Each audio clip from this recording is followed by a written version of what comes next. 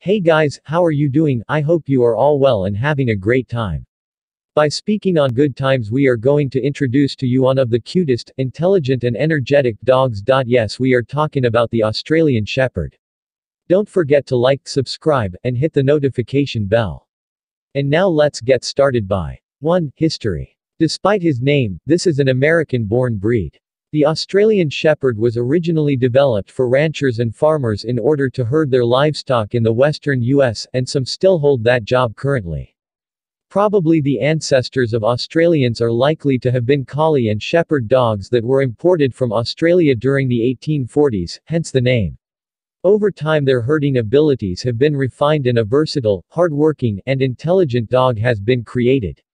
Aussies are companion dogs and prefer to stay close to their families. They don't do well stuck in the backyard by themselves for long periods. 2. Size. Slightly longer than he is tall, the Australian Shepherd stands 20 to 23 inches tall at the shoulder for males, 18 to 21 inches for females. On average, males weigh between 50 and 65 pounds, females 40 to 55 pounds. 3. Personality and children and other pets. Australian Shepherds are herding dogs and many consider kids part of their flock, so you'll need to teach your Aussie that chasing and nipping at kids to herd them isn't allowed.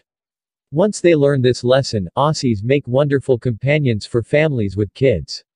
Always teach children how to approach and touch dogs, and always supervise any interactions between dogs and young children to prevent any biting or ear or tail pulling on the part of either party.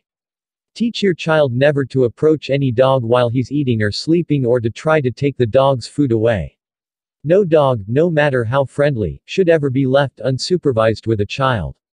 4. Feeding. The Australian Shepherd should do well on a high-quality dog food, whether commercially manufactured or home prepared with your veterinarian's supervision and approval. Any diet should be appropriate to the dog's age. Some dogs are prone to getting overweight, so watch your dog's calorie consumption and weight level. Treats can be an important aid in training, but giving too many can cause obesity. Learn about which human foods are safe for dogs, and which are not. Check with your vet if you have any concerns about your dog's weight or diet. Clean, fresh water should be available at all times.